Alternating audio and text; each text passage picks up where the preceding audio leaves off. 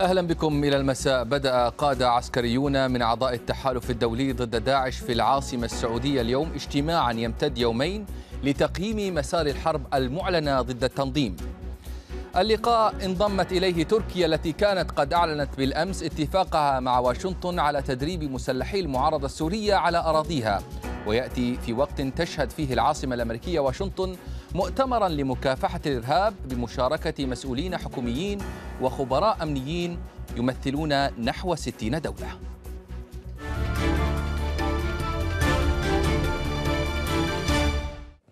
نرحب بضيفينا في المساء معنا من الرياض الخبير الأمني والاستراتيجي العقيد أركان حرب متقاعد إبراهيم المرعي ومعنا من الكويت رئيس المنتدى الخليجي للأمن والسلام الدكتور فهد الشليمي. أما أنتم مشاهدين فيمكنكم دائما المشاركة في الحوار من خلال طرح أسئلتكم واستفساراتكم على تويتر وفيسبوك. إذا أرحب بضيفي وأبدأ معك دكتور فهد. اجتماع قادة عسكريين في الرياض هل يؤشر ذلك على أن هذا الاجتماع هدفه التنسيق الميداني وتوزيع الأدوار مجددا في الحرب على هذا التنظيم؟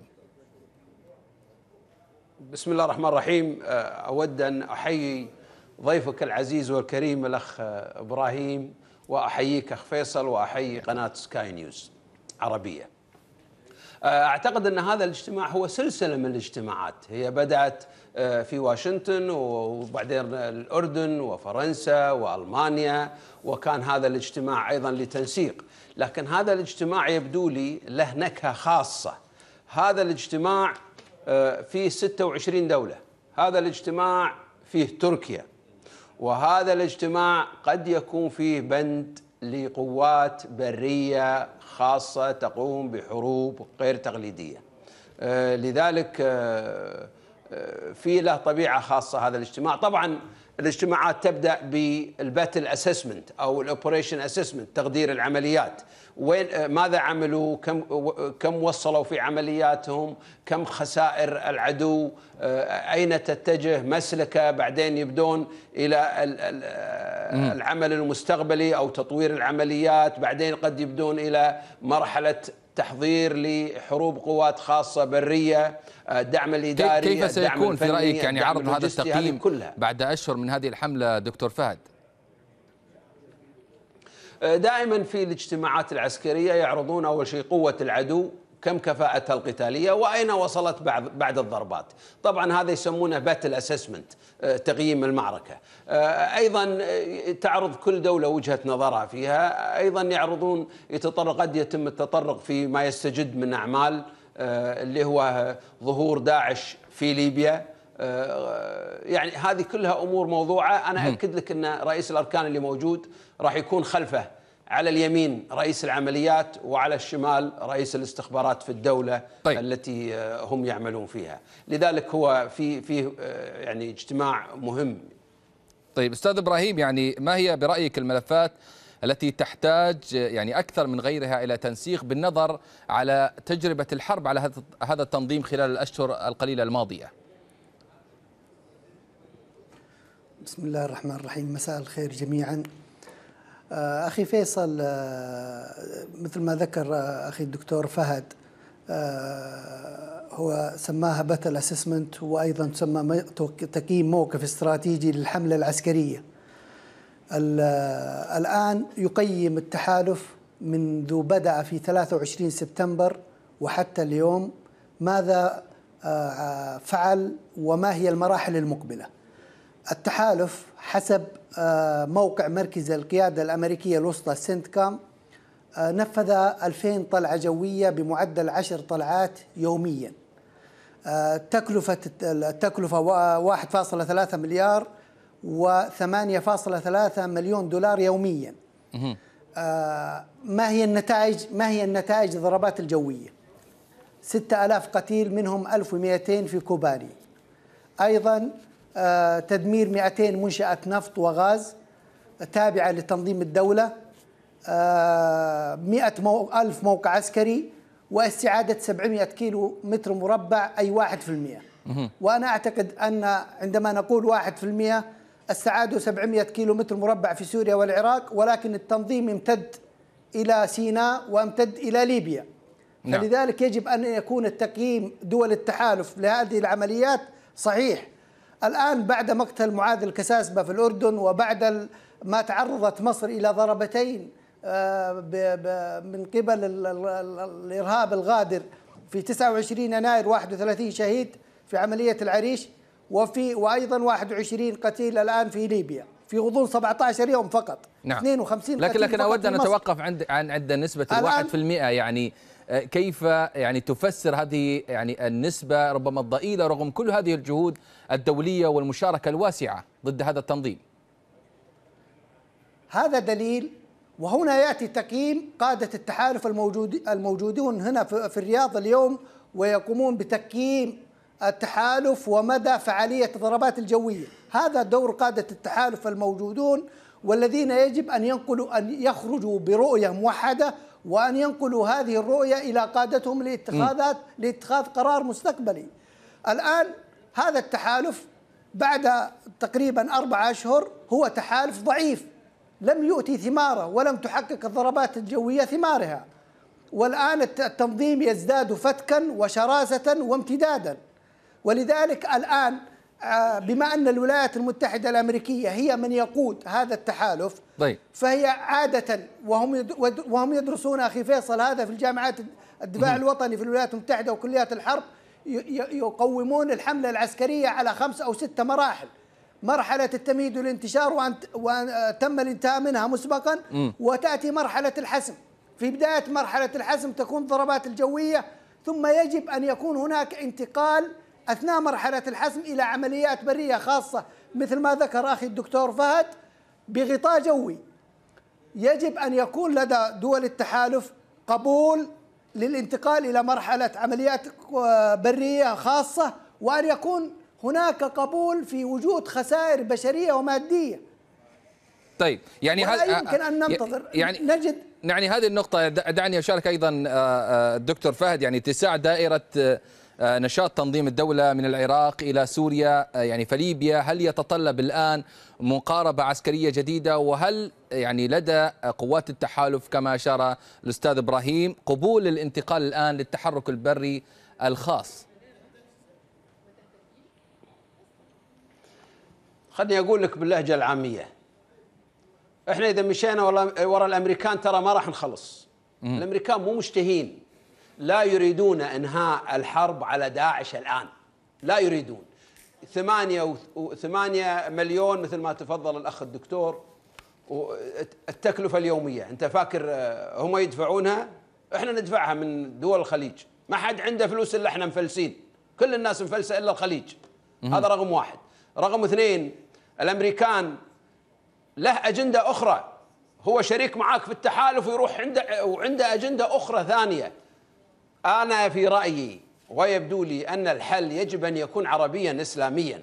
إذا بنمشي وراء الأمريكان إحنا قالوا لنا اطفاء الآبار يستغرق خمس سنوات يوم جونا. طفوها الكويتيين بتسع شهور.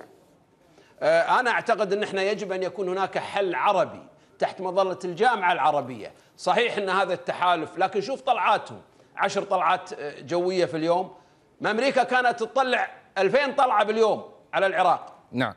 بالتالي يعني الأمريكان متخاذلين في هذا العمل. النقطة الثانية أنا أعتقد أن حتى آه، آه، العمل داعش أنا أعتقد أثر على داعش وأثر على داعش سلبيا. هذا الامتداد وهذا الانتشار هذا انتشار فكري لكن ليس انتشار عملياتي. النقطة الثالثة في شكوك يقول لك يعني حرية حركة الناس. لهذا السبب يجب أن يتم توحيد البحرية. العربية لكل آه، سكتر لكل إقليم من الدول العربية. هذه ليبيا يجب أن تكون هناك قوات بحرية تمنع تحرك آه، الأطراف من هذه. هذا الحل العربي. الطيران العربي موجود. طيب. آه، لذلك تحييد هذا التنظيم بحرا وهذا مصطلح راح يطلع جديد. البحر المتوسط الآن معطيهم حرية الحركة وجود أيضا عمليات بحرية لمنع وقطع الطريق على دخول أو خروج آه، في ليبيا أو في مناطق أخرى، هذه كلها أمور، لكن في النهاية إحنا نقول الأمريكان، يبقى الأمريكان ما يبون يخلصون الشغلة، لا يريدين لا يريدون أن ينهونها في شهرين أو ثلاثة أو تسع شهور، يبون خمس سنوات ومزيد من طيب يعني نقطة مهمة يعني أشرت إليها. يعني. مسألة التحالف الإقليمي يعني ما رأيك سيد إبراهيم؟ يعني هل تعتقد أن بناء تحالف يعني إقليمي قوي آه، آه، مثلا بين الخليج ومصر سيكون أفضل وأكثر فاعلية من التحالف الدولي والإطار الدولي للحرب على التنظيم. أنا أحترم وجهة نظر أخي الدكتور فهد ولا وأتفق معه في نقاط معينة. نعم الولايات المتحدة الأمريكية وأنا أتكلم بالذات عن الشركات المصنعة للسلاح هي المستفيد الأكبر وتتمنى لو تستمر هذ- لو تستمر هذه الحرب 100 سنة أيضا التنظيمات الإرهابية كلما طال أمد الحرب كلما زادت تمرسا وزادت تمكنا وزادت تفاديا لأي ضربات جوية.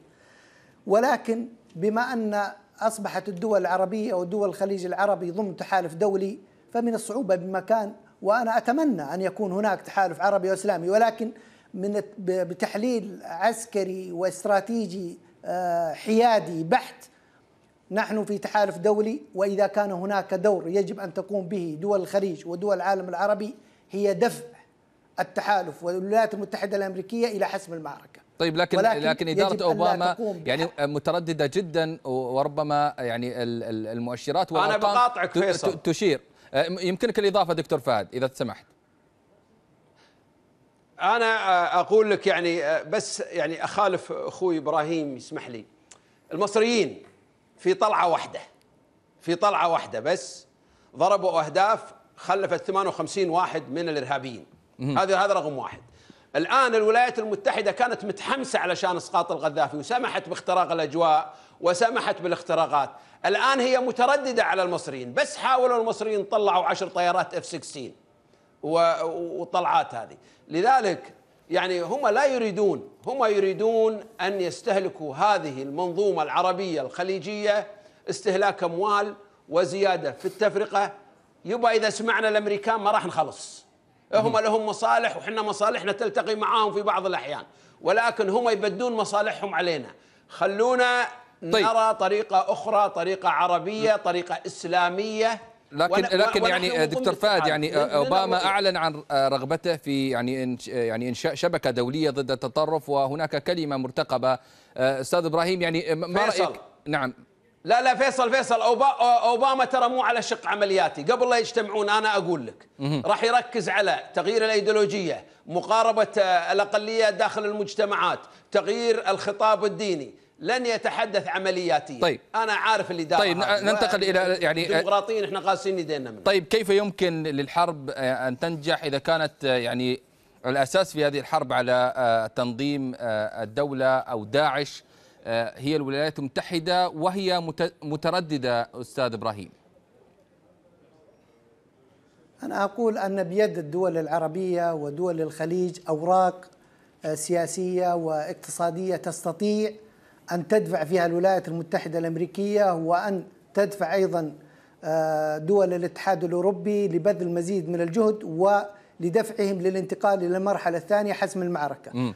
متى يكون هناك استقلال عربي وإسلامي؟ إذا كنت أنا أصنع سلاحي وأصنع طائرتي التي محلقة في الجو وأصنع الذخيرة. جميع الطائرات التي موجودة لدى الدول العربية والإسلامية هي صناعات أوروبية وأمريكية.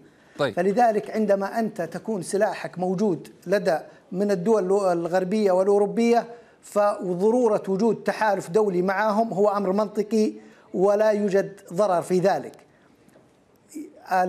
أما أن تخرج الدول العربية والإسلامية بتحالف آخر للتعامل مع هذا التنظيم هذه أمنية ولكن على أرض الواقع أنا أعتقد أنه طيب إبراهيم تطبيقها. يعني بين اجتماع الرياض ومؤتمر واشنطن وما أعلن أيضا عن مؤتمر آخر برعاية العهد السعودي الأسبوع المقبل. يعني هل تعكس هذه اللقاءات اقتراب اكتمال الصورة أو شكل تحرك استراتيجي لهذه الدول أم انها كل هذه التحركات والاجتماعات هي دليل على أن هناك مقاربات مختلفة وتباعد في وجهات النظر بين هذه الدول ومحاولة لإيجاد هذا التقارب؟ بل أنا أعتقد أن هناك تقارب وأعتقد أن ما حدث في الأردن بعد مقتل معاذ الكساسبة والأردن بالنسبة للولايات المتحدة الأمريكية هي دولة آه، ذات حساسية معينة نظرا لقربها من إسرائيل ونظرا لوضع الأردن الجيوستراتيجي. أيضا ما تعرضت له مصر آه، وخصوصا في ليبيا وقرب تنظيم داعش من أوروبا آه، عبر البحر الأبيض المتوسط. أعتقد أن المجتمع الدولي سينت- سينتقل آه، شاء أم أبى إلى طيب. مراحل متقدمة من العمليات وأعتقد أنه لن يتأخر في ذلك. طيب دكتور فهد يعني أيضا من الأمور اللافتة هو الحضور التركي آه، يعني هل يعكس ذلك تغيرا في مواقف آه، أنقرة التي كانت تتهم دائما بأنها تتساهل مع داعش وأيضا تسمح بعبور عدد كبير من المسلحين آه، إلى العراق وأيضا سوريا، يعني هل كيف تفسر هذا التغيير في موقف أنقرة؟ هو ماكو تغيير. إحنا نقول الأتراك يختلفون. لا الأتراك فكروا بصوت عالي لمصالحهم. هو التركي يقول لك أنا ليش أدخل مع التحالف وأتعرض لضربات آه، انتقامية تفجيرات داخل إسطنبول آه، مشاكل مع الإرهابيين؟ أنا لا. خليني أنا أحيد الآن تركيا مستفيدة اقتصاديا. الاستثمارات فيها والدول دول الربيع العربي كلها متضررة. آه، الغرار يراجعونها. آه، استطاعت أن تخلص رهائنها الموجودين واستطاعت أن تلعب دور الميدياتر يعني هم الأتراك فكروا بصوت عالي. الأتراك لا يريدون دولة كردية بغربهم ولا ولا يريدون آه، بقاء بشار الأسد. يريدون نظام قد يكون يشعر بالجميل نحو تركيا ولهذا السبب هم متحركين. لذلك آه، الأتراك ما يهمه إذا طالت الحرب لأن الحرب ليست على أرضه بل على العكس هو اقتصاديا مستفيد. مئات الآلاف من السياح الآن آه، تتدفق على تركيا. ليش؟ لعدم وجود الأمان في الدول العربية اللي عندها مشاكل. نعم. آه، وجود رئيس الأركان طبعا لأن تركيا وافقت سياسيا هذا وعلى استحياء لتدريب 5000 مقاتل لكن إمتى؟ من 2015 متى يكون جاهزين؟ ب 2017 نعم هو يتوافق مع النظرة الأمريكية في استمرار الصراع مدة مدة أطول. ما في حل. الحل إن إحنا نعتمد على أنفسنا. إذا كانت عملية السلاح وال spare parts أنا أعتقد حملة لمدة أربع شهور أو خمس شهور ما راح تطول مو مثل مو مثل ست أو خمس سنوات مثل ما يقولون. في إذا كان هناك نية يكون هناك عمل. لكن إحنا يعني ربطنا أنفسنا مع الأمريكان لكن، آه، يعني أخي يعني، آه، أمس تفاوضوا. أستاذ إبراهيم كان يتحدث عن أن مثل مثل هذا من مثل هذا. مثل هذه الفكرة تبقى يعني حلم وغير مؤثرة أيضا في محاربة التنظيم من الناحية العسكرية. ليست حلم. أنا أقول لك فيصل أنا أقول لك ليست حلم. إحنا لما صار تحرير الكويت سووا فيلق عربي أخذ قطاع كامل. أنت تتكلم على مليون جندي عراقي كانوا متواجدين. صحيح الضربات الجوية الأمريكية لكن إلى متى إحنا نكون تحت الابتزاز؟ طيب. والأموال تدفع. ويعني هذا شيء غير مقبول. إما أن يتحرك الحلفاء بمصالحنا وبالتوقيت الذي نعتقد أنه يناسبنا لأن نحن المتضررين. الإرهابي على أرضنا المقتول من جنسياتنا آه، آه، أرض العمليات أرضنا ما يعني ليس هو ليس متضرر هو متضرر أن ينتقل الإرهاب له ولما انتقل الإرهاب له جاء طيب. الفكر هذا ما لكن هذه هذه. الفكرة تحديدا إلى أي. درجة هي يعني قريبة من أذهان القادة آه، آه، العرب آه، أستاذ إبراهيم في رأيك هل هذه الفكرة مطروحة التي يتحدث عنها الدكتور فهد؟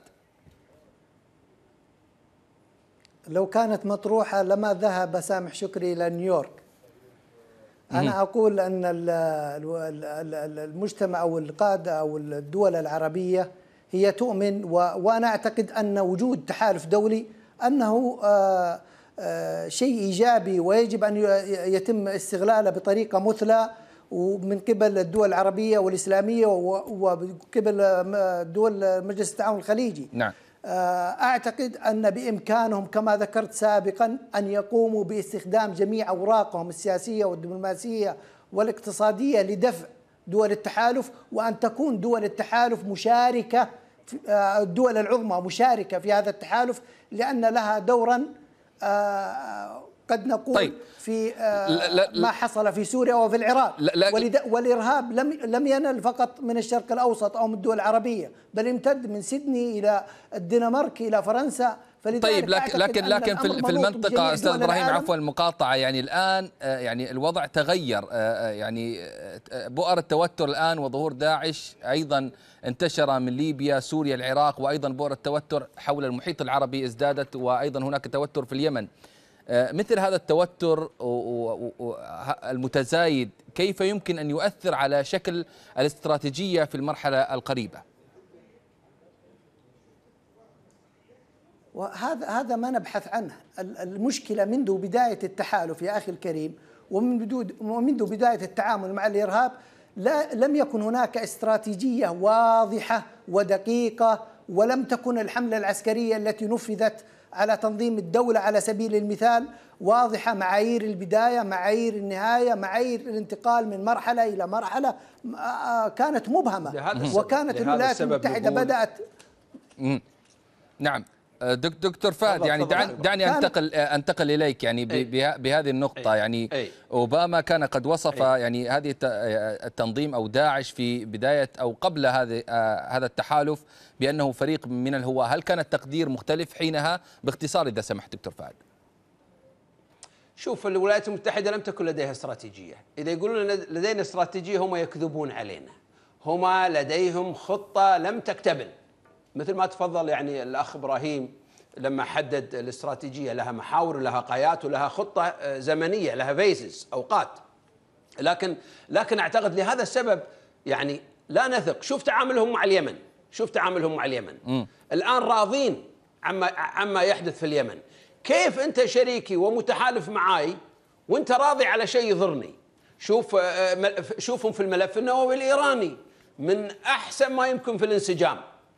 لذلك أنا أقول علينا أن نراعي أيضا مصالحنا مثل ما عملوا الإتراك. نعم.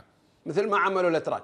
لا أن نكون رهينة يمكن مو السنة هذه قد نستفيد لازم السنة القادمة. لا نريد أن نربط أنفسنا الحقيقة بنظام متقلب وإن كانت لنا مصالح. طيب بشكل سريع يعني في أقل من دقيقة دكتور فهد أين يتجه مسار هذا التحالف. الدولي؟ يعني خلال الأسابيع القليلة المقبلة على الأقل.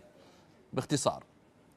أنا أعتقد أنا أعتقد راح يكون الضغط على وجود قوات برية غير تقليدية اللي هو قوات خاصة واضح. راح يكون هناك أيضا النظرة إلى ليبيا عبر حصارها من البحر راح يكون وجود قوات قد تكون في إقليمنا وجود دول أخرى قد تكون متواجدة هولندا ألمانيا فرنسا إيطاليا بالإضافة إلى أمريكا أيضا وجود قوات مصرية وسعودية وبحرينية قد تكون موجودة يعني أتوقع أن يكون هناك فورميليشن شكل لوجود حرب برية ووجود خطة على الأقل برية للتعامل في خلال الأربع شهور القادمة. يعني أستاذ إبراهيم هل الحرب البرية تضمن بالفعل دحر هذا التنظيم وأيضا ردعه؟ نعم أعتقد ذلك أن الحرب البرية ستحسم الأمر والمعركة مع التنظيم بشرط أن يكون هناك توازي وحل الأزمة السورية. إذا لم تحل الأزمة السورية فحتى لو كان هناك قوات برية سيبقى التنظيم متواجد. أين إيران من وأعتقد كل أن يعني من كل, التح... كل ما يحدث الآن وربما الحوار المباشر مع إيران التي تتهم دائما أنها هي طرف في في هذه الأزمات أستاذ إبراهيم. طبيعة الحال. إيران ضليعة ضليعة في اليمن ضليعة في سوريا ضليعة في العراق ضليعة في كل فتنة في العالم العربي وفي كل انشقاق. قاده التحالف اليوم في الرياض سيخرجون برؤية أعتقد أنهم سينقلونها إلى القادة بحيث يتم التحول إلى مرحلة العمليات العسكرية الخاصة. على رأسها القوات العراقية وقوات البشمركة سيكون هناك مشاركة من دول التحالف ستشارك الولايات المتحدة بأعداد رمزية جدا جدا لأن الرئيس أوباما وعد الشعب الأمريكي بأن لا يزج بأبنائه في أي حرب مستقبلية برية.